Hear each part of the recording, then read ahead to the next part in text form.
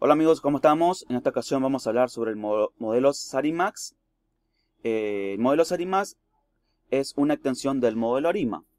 Ya en otras ocasiones nosotros hemos aprendido a, crear o elaborar o construir un modelo Arima.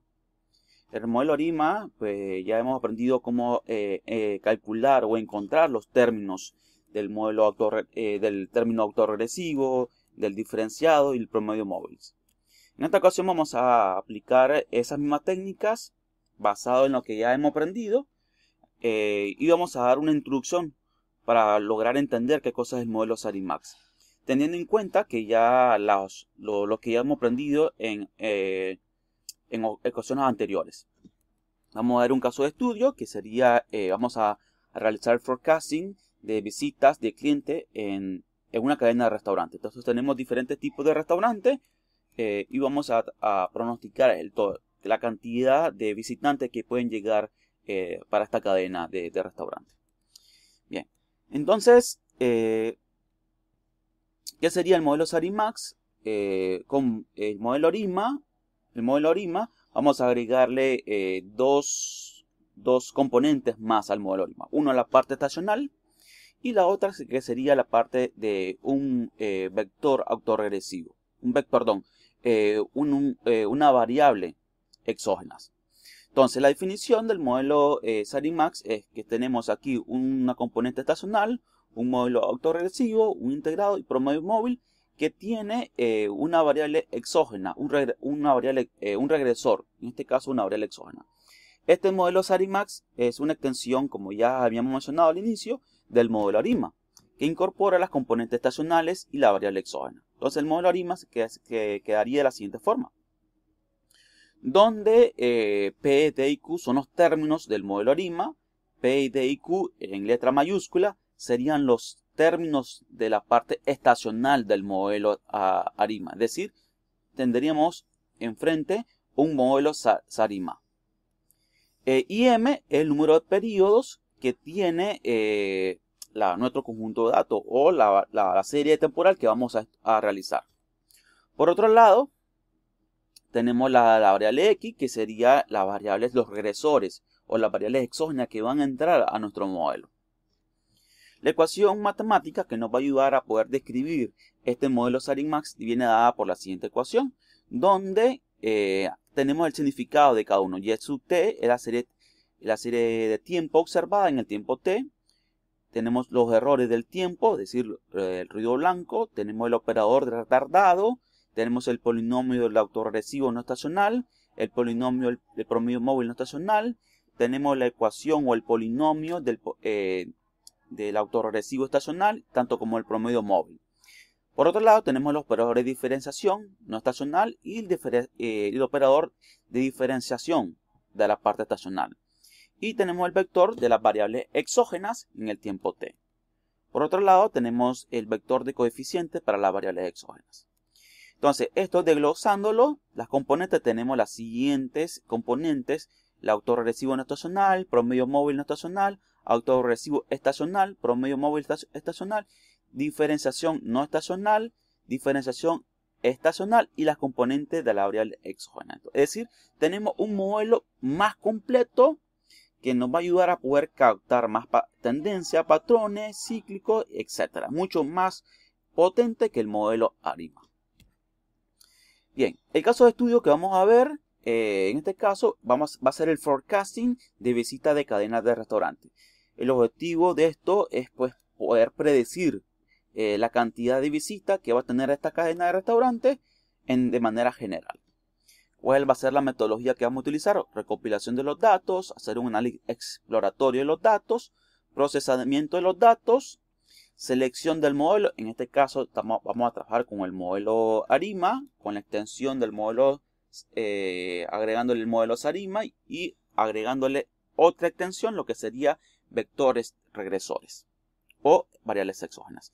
Entrenamiento del modelo, validación del modelo, las predicciones y si requieren algún tipo de ajuste, realizar ese tipo de ajuste. Vamos a iniciar cargando entonces nuestro conjunto de, librerías que vamos a utilizar. eh, las librerías de manipulación y tratamiento de los datos, visualización de los datos y las librerías que vamos a utilizar para el Stat Model que va a ayudar a, eh, aparte de la modelación y otras cosas de visualizaciones. Bien, aquí tenemos nuestro conjunto de datos, tenemos la variable tiempo, que la sería la fecha, que están del 2006 hasta el 2017, tengo la variable vacaciones o días feriados, y tengo las visitas de, de cada uno de los restaurantes. Restaurante 1, restaurante 2, restaurante 3, restaurante 4, las visitas de cada uno. Y tengo el total. El total es la sumatoria de cada uno, de cada, de cada, de la, de la visita de cada uno de los restaurantes. Bien, información general, podemos ver que tenemos algunos valores nulos, obviamente ya lo habíamos observado, y vamos a, ver la cantidad de valores nulos. Vamos a proceder a eliminarlo, no vamos a, en esta ocasión no vamos a proceder a imputar, no nos vamos a centrar en esa parte, vamos a centrarlo más en la parte de la modelación, así que vamos a eliminar esos valores nulos.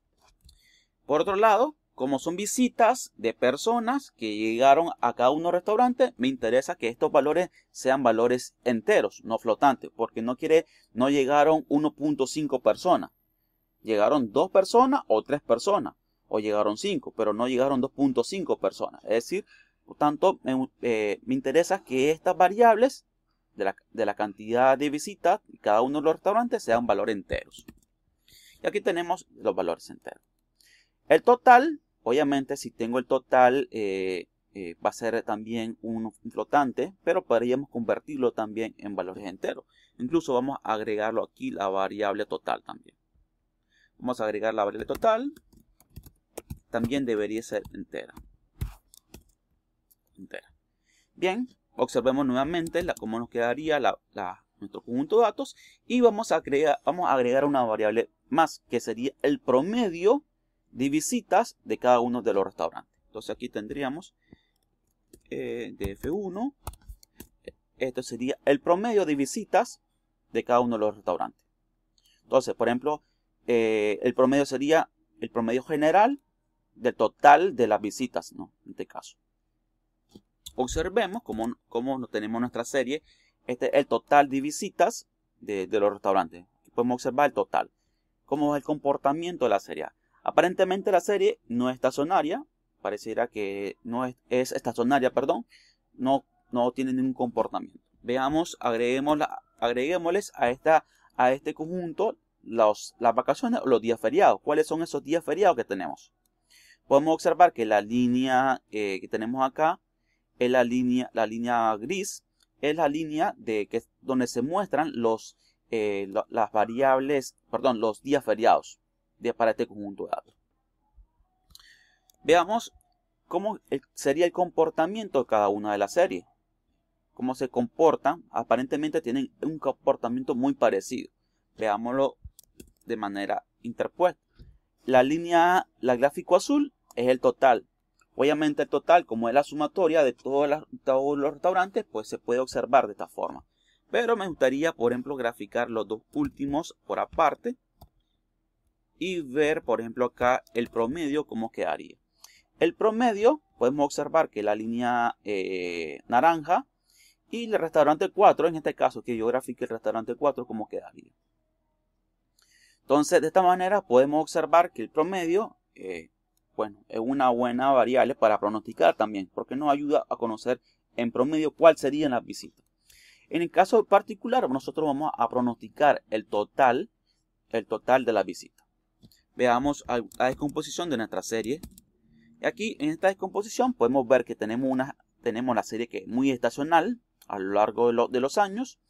Nos marca una tendencia, eh, pero vamos, y los residuales pues están muy constantes a lo largo del tiempo. O sea, hay que ser muy constante en media invarianza a lo largo del tiempo. Pero para verificar que si la serie es estacionaria o no, verifiquemos, hagamos la prueba de Dickey-Fuller por esto. Recordemos que la prueba de Dickey-Fuller dice que si el p-valor es menor que el 5%, la serie no, no, tiene una raíz unitaria y por tanto la serie es estacionaria. En caso contrario, la serie tiene una raíz unitaria y los datos serían no estacionarios. Veámoslos para la variable total. Aquí podemos observar que el p-valor es menor que el 5%, la raíz, los datos no tienen una raíz unitaria y por tanto la serie es estacionaria. Veamos el gráfico de la siguiente gráfico. Este siguiente gráfico nos va a ayudar a nosotros a ver también que la serie aquí tenemos el p-valor y cada uno de la, de la autocorrelación. Recordemos que vamos a construir un modelo ARIMA que tiene una, eh, una extensión parte estacional con un vector regresor o variables exógenas. En este caso, podemos observar que para, recordemos que para la, encontrar los términos del autorregresivo nos basamos en el gráfico de autocorrelación parcial. Y para encontrar los términos del promedio móvil nos basamos en, lo, en gráfico de autocorrelación simple. Entonces, si quisiéramos eh, saber la cantidad de términos que llevaría el autorregresivo, tendríamos que llevar 1, 2, 3, 4, 5, 6, 7. El máximo que tendría que ser 7. Por el, por el otro lado, tendríamos que ver aquí para el promedio móvil, llevaría 5, 6, 7 y 8. Y así sucesivamente. Son una cantidad más grande. Para esto vamos a, vamos a usar la función pedarima para que podamos eh, conocer nosotros cuáles serían los términos recomendados por, por la función. En este caso vamos a iniciar con un, eh, con un término p igual a 1 y un término promedio móvil igual a 1. Entonces comienza a el modelo, la función, eh, auto, el autorima a encontrar los mejores términos que, se tienen. De esta manera nos recomienda cuáles serían los términos eh, que tienen la mayor optimización para encontrar, para ejecutar luego nuestro modelo SARIMAX. Bien, entonces esto nos podemos ir viendo las, combinaciones de los modelos. Tengo el modelo 101, es decir, que tengo un autorrecibo, un promedio móvil y eh, diferenciado. Obviamente recordemos que la serie ya viene diferenciada, es decir, que la serie ya es estacionaria. Ya tiene esa, esa característica, no marca, no, no requiere una diferenciación debido a que la serie es estacionaria. Bien, entonces una vez que el, eh, el modelo Autoarima nos, encuentre cuáles son esos términos, nos recomiende cuáles son esos términos, vamos a crear nuestro propio modelo para luego eh, ir avanzando con, el análisis de serie de tiempo para, eh, para hacer el forecasting de la cantidad de clientes o de visitas de, clientes de manera general. Podríamos hacerlo de manera particular para cada restaurante. Pero en este caso lo vamos a hacer de manera eh, particular, de manera general, para el total de visitas. Podemos observar que el modelo ARIMA nos dice que eh, el valor óptimo que nos va a ayudar a optimizar eh, el modelo es el modelo ARIMA que tiene 0 autorregresivos, 0 diferenciado y 0 promedio móvil en la parte no estacional. En la parte estacional tengo un autorregresivo estacional y un promedio móvil estacional. Y obviamente la frecuencia de nuestro conjunto de datos. Bien, veamos aquí la... Y aquí vamos a hacer la división de nuestro conjunto de datos. Vamos a hacer aquí división de los datos. División de los datos. Vamos a ver. División de los datos. división de los de los datos. Aquí vamos a hacer eh, datos entrenamiento, datos de entrenamiento y aquí datos de prueba. Datos de, prueba. Estos son los que vamos a utilizar. Para esto vamos a decirles que vamos a, utilizar, por ejemplo, 42 en nuestro conjunto de datos. Vamos a ver acá. Y a ver, vamos a darle train. Nuestros conjuntos de datos están de manera diaria. Entonces vamos a utilizarlo. Vamos aquí a utilizar. Vamos a utilizar los últimos 42 días. En este caso 42 días para probar. Eh, días para probar o evaluar nuestro modelo. Nuestro modelo Sarimax. Ok. okay. Ya, ya, tenemos aquí la división de los datos, entrenamiento y prueba. Tenemos conjunto de entrenamiento y vamos el conjunto de prueba. Tenemos el total. Bien, Una vez recordemos que nuestro modelo entonces es el modelo 00000, eh, el, el triple de 0 y aquí tenemos el par ordenado 101. En este caso, no estamos, estamos excluyendo el diferenciado. Este modelo vamos a construir nuestro modelo, nuestro primer modelo, vamos a entrenar nuestro primer modelo, modelo Sarimax, y vamos a nuestro objetivo, en este caso, pues es poder eh, pronosticar, aquí vamos a ponerlo, recordemos, nuestro objetivo, eh, nuestro objetivo, nuestro objetivo es eh, realizar el forecasting forecasting de total de visita. Del total total de visitas visitas del restaurante. Restaurante. Perfecto. Ese es nuestro objetivo. Entonces en base a este objetivo seleccionamos la variable que vamos nuestro, nuestro objetivo, que sería el total de, de variables, en este caso. En este caso vamos a entrenar un modelo Sarima. Vamos a entrenar un modelo Sarima. Primero. Entrenamos el primero el modelo Sarima, que sería dato de entrenamiento, seleccionamos la variable objetivo, que sería el total.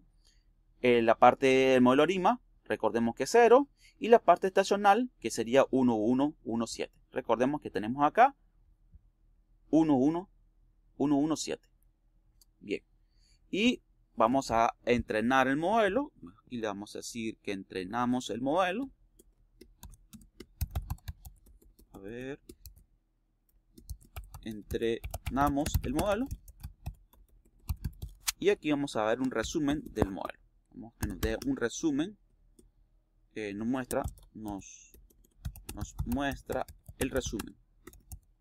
Resumen del modelo vamos a ir ejecutándose del modelo Perfecto, vemos bien el resumen del modelo. Tengo aquí el modelo y aquí tengo las variables. Tengo un autorregresivo, un promedio móvil y las variables son significativas. Tengo los intervalos y bien. Una vez que tengo esto, entonces vamos a crear, vamos a hacer las predicciones de nuestro modelo. Tengo las predicciones de nuestro modelo y ahora vamos a graficar ese resultado. Podemos observar que el modelo, lo que tengo aquí, modelo 1000, como con los valores, eh, las líneas verticales en, valores gris, son los, eh, los días feriados, los días libres. Podemos observar que el modelo Sarima aprendió bastante bien, o sea, mantuvo el comportamiento, encontró la tendencia de, total de visitas. Es decir, que el modelo logró aprender un poco, bastante bien. Vamos a evaluar este modelo. Vamos a usar la métrica de la media, la, eh, la media el MSE, la media de los cuadrados de los errores, y la raíz media de los cuadrados de los errores. Podemos observar que la media de los cuadrados de los errores nos da 1018 y la raíz media de los cuadrados de los errores 31. Ok. Entonces hasta aquí hemos construido nuestro modelo Sarima. Pero nuestro objetivo es construir un modelo Sari Max, agregándole al modelo variables eh, exógenas. Vamos a construirlo de esta manera. Recordemos nuestro conjunto de entrenamiento. Aquí tengo. Entonces, Primero vamos a ir a, vamos a agregar la primera variable. Vamos a agregar la primera variable. Entonces aquí agregamos la variable eh, vacaciones. En este caso variable vacaciones. Aquí holy, holidays. Holidays. Vamos a agregar esa primera variable. Entonces en este caso vamos a agregar la variable holidays. Aquí donde dice variable exógena agregamos. Y aquí seleccionamos nada más la variable total. Nuestro, nuestro objetivo que es la variable total, la cantidad de visitas que se realizaron de manera general el de la cadena del restaurante. Y aquí nos va a dar, eh, aquí seleccionamos los días de, eh, de vacación o días feriados. El mismo, realizamos el mismo modelo que ya teníamos. Vamos a decirle que se ejecute el mismo modelo. ejecutando. Y vamos a ver el resultado. Aquí podemos observar que tenemos siempre el mismo modelo, ya lo hemos analizado. Y vamos a lo que a realizar las predicciones de nuestro modelo.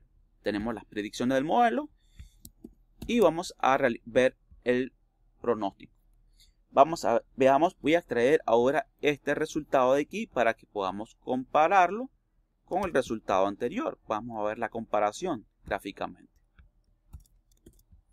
Podemos observar, vemos bien aquí que la línea eh, naranja como el modelo Sarima y el modelo Sarimax como aprendió mejor. Marcó mejor de tendencia en este caso. Aprendió los, picos, los grandes picos que teníamos, los logró a capturar mejor eh, el resultado. En este caso, por ejemplo, aquí miren, esta parte capturó mejor tendencia, mejor resultado que esto que teníamos aquí. O sea, la curva se hizo un poco más suave. Entonces, el modelo Sarimax nos dio un buen desempeño. Vamos a evaluar ese resultado. Y aquí podemos observar el modelo Sarima, en este caso, y el modelo Sarimax. El modelo Sarima nos dio mil, eh, la, raíz media de los cuadrados de los errores nos, dio 31 y el modelo Sarimax nos dio 23. Bien, ¿qué podemos hacer? veamos si se logra mejorar este resultado. ¿Cómo? Agregándole más variables exógenas a nuestro modelo. Entonces, recordemos nuestro conjunto de datos. Tenemos aquí el dato de entrenamiento. Tengo la variable restaurante 1, restaurante 2, la restaurante 3, restaurante 4 y tengo el, promedio. Agregámosle, agreguemos la variable restaurante 1 a nuestro modelo. Veamos el resultado. Eh, encontramos las predicciones del modelo y veamos el mejor aquí. Podemos ver que ahora el resultado, vamos a, eh, voy a traer el resultado del modelo Sarimax, del modelo con una variable exógena, que es este. Y lo vamos a comparar con este, con este desempeño que tengo acá. Podemos ver aquí que el modelo en estos picos, que son las, pronósticos, como lo capturó mejor ahora el modelo Sarimax con, con, dos variables exógenas. Aquí sería con una variable exógena. Bien, veamos el, resultado. Ahora tengo 19. Antes, tenía, antes teníamos 23. Veamos acá. A ver. Aquí tengo 23 con un pronóstico, con una variable, eh, con, con una variable exógena adicional. 23, la raíz media de los cuadrados de los errores y 538. Aquí tengo 338, 389 y tengo 19 los errores. Vamos a agregar otra variable más y vamos a calcular, a estimar los pronósticos. Entonces aquí tengo ahora, hemos agregado tres eh, variables, tres variables más, serían los, los días festivos o vacaciones, restaurante 1 y restaurante 2. Tengo los pronósticos y vamos a ver el gráfico. Podemos observar que ahora el modelo, el modelo 2, mira, aquí tengo X3, significa que la línea naranja, que es con tres exógenas. El modelo X2, que es con dos exógenas. Podemos ver que el modelo verde aprendió un poco mejor, ¿sí? Aprendió un poco mejor que, la, que el modelo eh, que el modelo, que el modelo, que el modelo Sarimax con dos, con dos variables.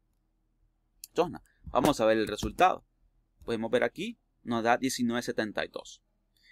Si aparentemente el resultado no da, no cambia con, una con dos variables exógenas o con tres exógenas, pero gráficamente se podría ver que el modelo, el modelo naranja, aprendió mejor, aprendió mejor, capturó mejor la tendencia y de nuestro conjunto datos. Vamos a agregarle a este modelo el promedio. ¿sí? Vamos a agregarle una variable más, que sería la variable min, para ver qué resultado nos da. Vamos a darle aquí, aquí vamos a agregarle también a este modelo, vamos a agregarle la variable min. Vamos a agregar una exógena más, min. Nos da el siguiente modelo, vamos a ver, y aquí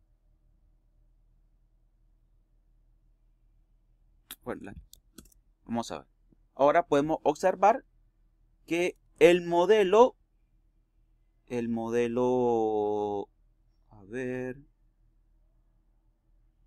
el modelo Sari, el modelo Sarima, el 3, es prácticamente es igual al modelo, al modelo original. Vamos a ver los, los errores. En este caso, a ver. Aquí podemos observar que es muy parecido al resultado. Entonces, esto nos dice que el modelo pues aprendió mejor del desempeño de nuestro conjunto de datos. Entonces, eh, veamos aquí 4. A ver. Bien, lo que vamos a hacer es separar el modelo. Vamos a ejecutarlo nuevamente, pero vamos a separarlo.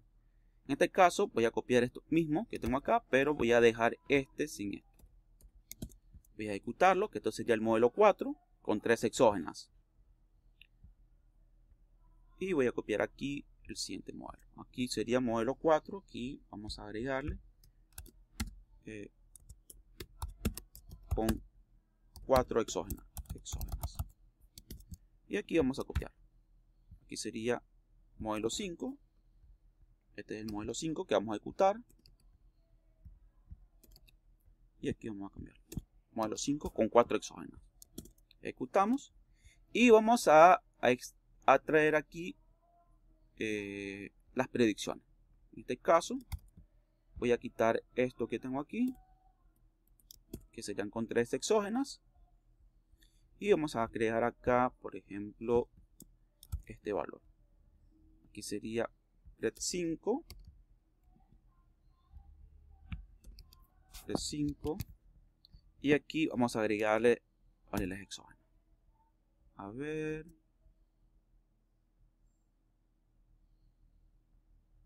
Ok. Vamos a ejecutar nuevamente. Aquí modelo 5. y aquí tengo resultado 4, a ver, resultado 5, perdón. Este sería el resultado 5. Tengo el, resultado, resultado 5 y vamos a graficar aquí este gráfico. Entonces la línea azul es el total, veamos bien, y aquí voy a agregar el modelo 5. A ver, aquí sería con 4 exógenas, vamos a ver 4 exógenas y vamos aquí a decirle que nos dé el gráfico. Ok, aquí sería pred 4, pred 5, el pred 5. Entonces podemos observar que aquí tengo eh, la línea azul, por ejemplo la línea 4 es el modelo con 4 exógenas, la línea roja. ¿Sí? En cambio, por ejemplo, la línea azul se pierde en la línea, en la línea, vamos a ponerle acá, por ejemplo, tapar la, modelo. Fíjense bien que el modelo 4, el modelo 4 con 4 exonas, prácticamente es lo mismo que el modelo anterior, que, que los datos reales. Es decir, que el modelo logró aprender bien. Eh, vamos a evaluar este modelo. Vamos a evaluar este modelo. le vamos a decir aquí que vamos a evaluar ese resultado. Entonces aquí sería test y pred 5. A ver, pred 5, si le hemos puesto pred 5, pred 5. Aquí sería con 4 exógenas, con 4 exógenas, 4 exógenas y 4 exógenas. Vamos a ver resultados nos. Entonces fíjense bien que ahora el error es muy chico. Prácticamente el modelo aprendió perfecto. Es decir, ¿qué es lo, lo importancia de esto? Es que nos dice que a, partir de la cantidad de valores que podemos agregar o variables que le hemos agregado a nuestro modelo, en este caso hemos agregado cuatro variables exógenas, el modelo logró aprender bien, excelente, reduciendo prácticamente los errores a cero. Entonces tenemos un modelo que nos ayuda, que estamos eh, totalmente convencidos que va a realizar un pronóstico excelente. Veamos eh, el gráfico con los intervalos de confianza. Bien, entonces vamos a agregar los intervalos de confianza. Tenemos nuestro conjunto de datos de, prueba. Y aquí vamos a, extraer, entonces, vamos a usar la función, el resultado 5 que tenemos de entrenar nuestro modelo. Recordemos el resultado 5, que es el dato de entrenamiento. Y aquí vamos a extraer el getForecast. Vamos a decir que va a ser la longitud del tamaño de las variables exógenas con las variables exógenas que nosotros ya teníamos extraemos la media, los intervalos de confianza y aquí podemos eh, eh, ver los intervalos de predicciones. Entonces, estos serían los intervalos de predicciones. Intervalos de predicciones. Ok, vamos a graficar este resultado y aquí le vamos a decir que los intervalos de predicciones, los intervalos de predicciones, vamos a graficarlo. Hoy tenemos las predicciones del modelo Sarimax al 95% de confianza con, con los intervalos de predicciones. Eh, resultado. La línea roja son las predicciones y eh, el sombreado debería ser este color, pero eh, por alguna razón vamos a ponerlo aquí blue por alguna razón, el intervalo de confianza es igual al mismo, al mismo tamaño de las predicciones. Es decir, que por esa razón no, no nos muestra eh, el intervalo. Pero aquí está el, desempeño y el resultado. Que hemos encontrado que el resultado prácticamente es cero.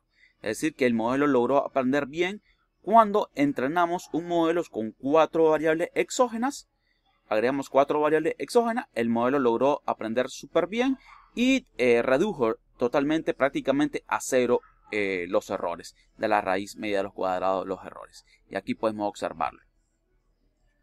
Bien, y aquí al final pues ya agregamos la, más, más, más datos, eh, lo pronóstico, el comportamiento de la variable, los intervalos de predicciones al 95% de confianza.